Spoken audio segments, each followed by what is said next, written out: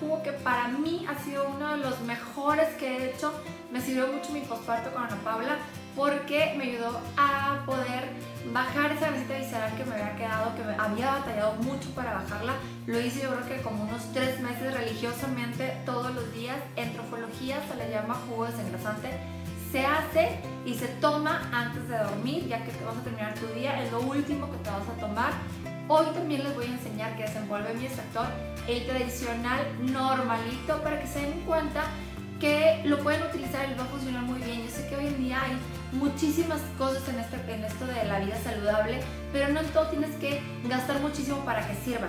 Ese tipo de extractores, que, que es el convencional, la única diferencia que tienen es que en el momento que vas a hacer el jugo lo tienes que tomar. Los otros que son más sofisticados, que tienen otro tipo de características, te sirven para que hagas el jugo y te dura hasta horas o hay algunos que te ayudan a que te duren días los jugos. En este caso si tienes uno tradicional, el punto es que en el momento que lo hagas te lo tomes y por supuesto que te va a servir, no necesitas nada más. Espero que este jugo les guste. Les digo, antropología se le llama tónico desengrasante y bueno, les voy a enseñar cómo se hace.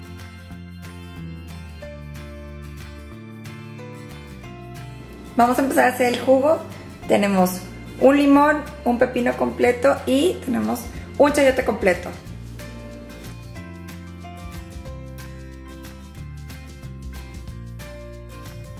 Este es el resultado. Sale aproximadamente 400 mililitros de jugo.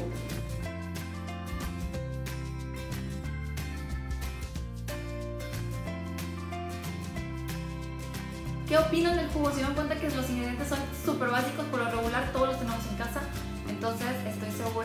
va a funcionar súper bien hacer este tónico desengrasante que se hace por las noches. Úsenlo, cuéntenme cómo les fue, utilicen el hashtag yo soy Alma Verde y de esta manera voy a ver todos sus comentarios, fotos y demás y ayúdenme pues a compartirlos para que seamos más los que nos vemos a esta experiencia de decir no estoy a dieta, estoy comiendo saludable, yo soy Alma Verde, síganme en todas mis redes sociales y si les gustó este jugo y quieren que haga más recetas de jugo, también déjenme sus comentarios y claro que lo vamos a hacer. Los veo el siguiente jueves con más recetas, tips y nutrición. Bye bye.